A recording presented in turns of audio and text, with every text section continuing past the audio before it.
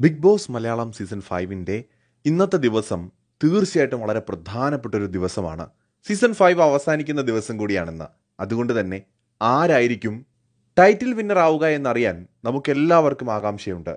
തുടക്കം മുതൽ ഇതുവരെയുള്ള ഗെയിമിനെ വിലയിരുത്തിയാൽ കണ്ണുമടച്ചുകൊണ്ട് ആർക്കും പറയാവുന്നതേ ഉള്ളൂ വിജയിക്കാൻ സാധ്യത അഖിൽ മാരാറാണെന്ന്.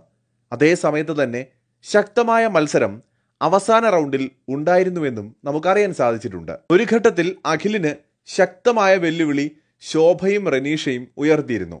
എന്നാൽ അതിനെയൊക്കെ അതിജീവിച്ച് മാരാർ കപ്പിൽ മുത്തമിടുമെന്ന് തന്നെയാണ് നാം പ്രതീക്ഷിക്കുന്നത്.